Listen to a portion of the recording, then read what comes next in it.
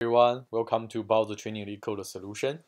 Um, so first of all, uh, if you want the best mock interview experience in North America, feel free to check us out at baozitraining.org. And also, as always, feel free to uh, scan this QR code so that you can receive the latest um, tech interview related articles. Uh, it's in Chinese, uh, it's WeChat, and uh, also if you are uh, if you're interested in becoming an interviewer, feel free to shoot us an email at baozitraining.org at outlook.com and we will uh, get in touch with you. Okay, so today, today we're going to uh, uh, talk about this question called Can I win? So this question is, is a game like this. So uh, think about this. So two players, they all they both play for their optimal, which means they they always want to win instead of lose. So uh, take turns adding a number total from any integer, let's say from 1 to 10, and the first one who uh, first causes the running total to reach or exceed 100 wins.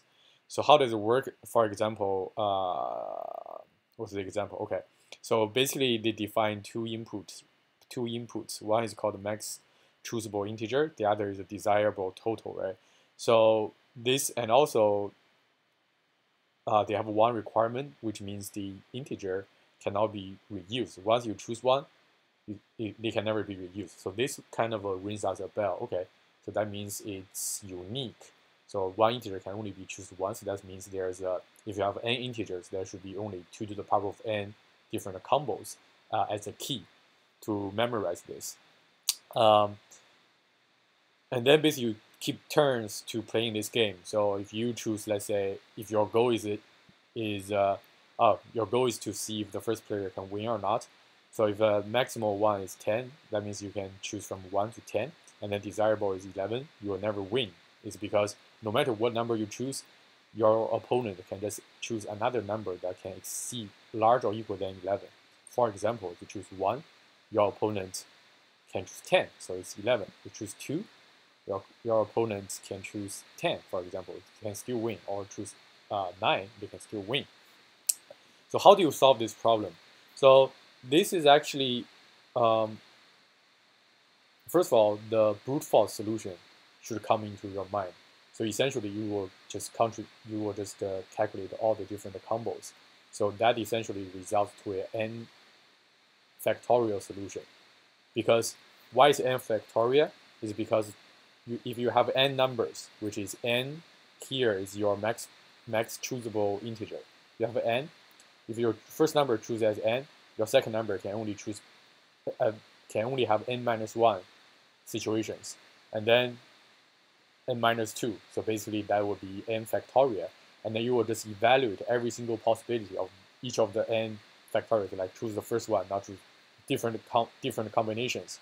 So and then you just keep going, and then that is all factorial. That will definitely be uh, time. Uh, it's not optimal, right? So the way to think about this is, uh, this remind when I first saw this, uh, this re reminds me of the Nim game. So I will put the link here. I actually have uh, accidentally recorded two. One is the English version Nim game. The other is the uh, uh, LeetCode, uh, the Chinese version. So think, remember the Nim game, you can only have one, two, three different combos. So what you do is you do a top-down approach, and uh, you just essentially still uh, brute force to calculate stuff. However, here you will just remember you have like a hash map, uh, or you call it a cache, so to remember your intermediate result so that you can eventually do pruning. Um, somewhere I should have the code somewhere here. Uh, you can you can watch that, but the idea is the same. So with this idea in mind, um, and also you can check right now LeetCode is actually pretty cool. You have the top solution, and then this guy actually explained pretty clearly especially the time complexity part, why using the memorization is 2 to the power of n, and the brute force is O n factorial. Um, so with this in mind, the way we solve this is I also put down a few comments right here. Um, so this is a function. So first thing, of course, some kind of uh, always some house house cleaning and edge case and early termination um, conditions. If desired total less than maximal truth less than 0 or this is a less than 1, always return false, right? Uh, or remember to how, how do we calculate the sum um, is, you know, you know the formula, right? 1 plus the larger times the total divided by 2. So if the sum is less than this, you, you can never reach the goal. You always lose.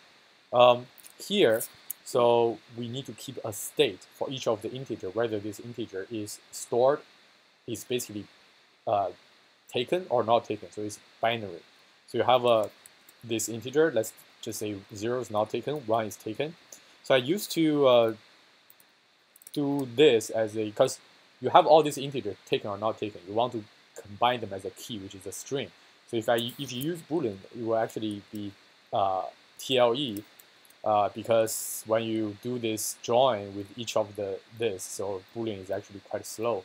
Uh, so that's why I just use the integer. Um, and then you this is your state. So this is essentially when you do top down, you have to recursively. Normally, people whenever you do top down brute force, you think about DFS, right? So we have lots of videos in DFS. You can search that out. And then this cache essentially is a, is a hash map. The key is the string, which represented by this state. So for example, if the state looks like, if you have three integers, the state looks like 0, 1, 0, that means you choose your first one, uh, not choose your first one, choose your second one, and not choose your third one. So this essentially becomes your string key of the uh, of your uh, cache cache key. Now previously, what I was doing is like you combine a string like false, true, like this, and false. So even with this, I think what I did is uh, something like this. Okay. Um, so this is your cache, and then you this is your recursion function, explore. So in your explore, what you need to do is, so first of all, you have to draw your key. You have to hit your cache. So you do this, you build your, this essentially just build up, build up your key looks like this. And then uh, if the key already in cache, you directly get the, the result out.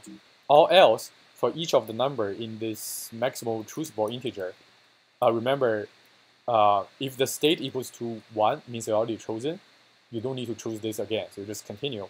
And then you mark the state, typical, very typical DFS. So if if your current sum is already larger than total, here I'm minus 1 because I'm using the index.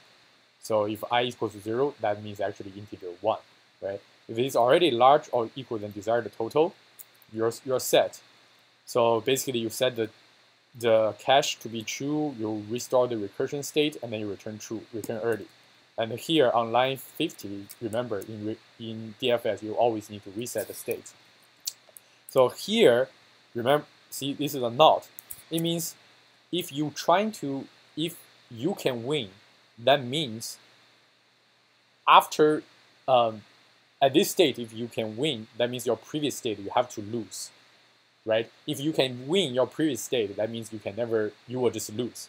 So basically, that's why when you explore, when you keep exploring, your next state has to has to be loose. So that's why when you minus your desired, this can be a constant, like I like I said it here. It could be a constant, doesn't matter, I just pass in here. So your previous state has to lose so that you can win, right? Um, and then you set the cache and then you return false. So this is how essentially this problem is like a typical DFS plus this uh, uh, hash table or cache to memorize the state. And then um, regarding the time complexity, like I explained before, brute force it will be n times n minus 1 times n minus 2 times equals to 1. So this will be n factorial. And then here, uh, the, with the pruning, the time complexity now becomes exponential, um, which is 2 to the power of n, because for each of the key combo, there's only 2 to the power of n combinations, and then you only calculate it once, because you never do more calculation, simply because you always remember the state and you return, you check the state and early return. Um, another way to think about this is, is um, this is top uh, top down, right? When solving the uh, dynamic programming problem, this is essentially a DP problem. Um, we can also do bottom up, but to do bottom up, remember we have to allocate the array, right? And then we keep the another state.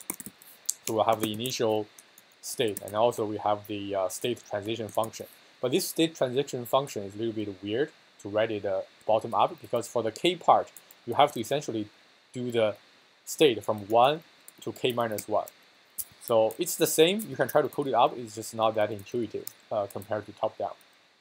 Um, yeah, that's all I want to add to this question. Just compare this to Nim game, not the brain teaser Nim game I explained in this video, but the normal way to solve the Nim game, the top down with the map as a memorization to pruning. Um, okay, thank you very much for watching, guys. Bye.